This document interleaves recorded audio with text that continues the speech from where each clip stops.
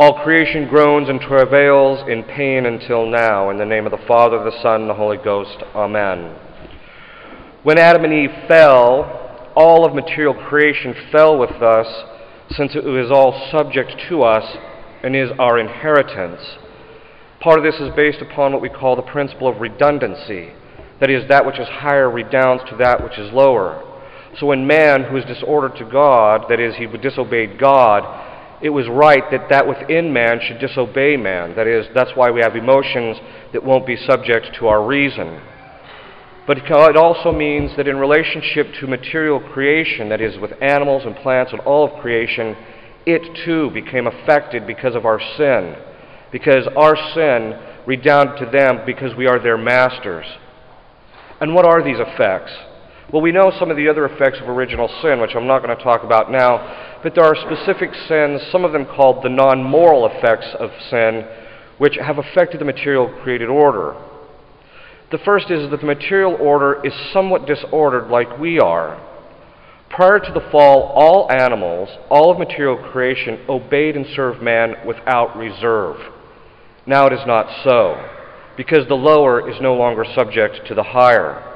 And it is a fact that now animals can be dangerous to us. Whereas before Adam and Eve fell, they were not dangerous to us, but would do our every beckoning. After the resurrection, the material creation will be perfected and subject to our will. But as it is now, it is a bit disordered because of us. And there is some indication that even as we continue and advance in our sin, that is, as we become more sinful, the material order becomes more disordered as a result of it. Because again, our sins become manifest in the material created order. They are subject to us, and ultimately they are our inheritance. We also know that the whole of the material created order is ordered towards man, proximately, God remotely, but it's ordered towards us and our use. If all of material creation falls with man, as St. Paul says, all material creation will rise with man. We are not certain whether animals and the, and the like will exist after the resurrection, even though the earth will. That seems to be clear from we see in the, Old, in the New Testament where it says there will be a new heavens and a new earth. But does this mean that there will be animals? Some saints don't think so, but it seems to me that one of the manifestations of God's perfections in the created order is the hierarchy of all of the created beings. So that each perfection or the perfections of God are manifest in the variety of different ways in the different animals and the different plants and in the different physical things. And therefore, it would seem appropriate that the hierarchy of being would be restored. That is, all the hierarchy of animals from the lowest to the highest would be restored as a manifestation of God's perfection. But this is, of course, my own theory. Shared by a few, but it's still just a theory. We don't know in the end. The disorder in the material created or universe is our fault. Now, we have come across today a false environmentalism, which has this idea that the environment is something that should be sought for its own sake, and that ultimately man is there for the sake of the environment, not the environment for the sake of man. These things are not there for themselves, they're there for us. God created the material things for our use and our benefit, not the other way around. Today we tend to see that people panic at even just the slightest bad report about the environment. And it's a sign or a rejection of the divine providence. God created the material universe for our use, which means that He designed it for the type of use that we're making of it. So, what's this mean? It means, in the end, as I tell the seminarians, God wanted us burning fossil fuels. He wanted us to eat animals, not before the fall, which we'll talk about in a bit, but after the fall, He had every intention for us to burn fossil fuels. If He didn't want us burning fossil fuels, He wouldn't have put them there. And He put a lot of them there, which meant He wanted us burning a lot of them. Now, that doesn't mean that you waste them. It just means that God created the planet which we live on, the material universe, to be able to sustain us in our activities. And to deny that, is, that is, to be panicking about everything that happens in the materially created order, or universe, is nothing short of a denial or a lack of faith in God's providence. He provides. Now, that doesn't mean, again, that we don't abuse the environment inappropriately. Why? Not because it's an end in itself, but because when we affect the environment, we affect other human beings. So, what we do to the environment, we, we have a proper moral outlook on it, not for the sake of the environment, but because of the effect it has on other human beings. So you don't pollute the environment in a way that is in, that's going to have a very adverse effect on human beings. But at the same time, God still intended for us to use the environment for our benefit. So we can't we have to be able to have a proper balance which is moderated according to prudence and according to virtue, which seems to be in short su- uh, supply these days. Also, because man turned away from God, who is the source of all good, who provides for us, we are left, we left ourselves unprovided for in a certain sense when Adam and Eve fell. So with the animals. The animals also suffer from what our disorder has caused. They now starve.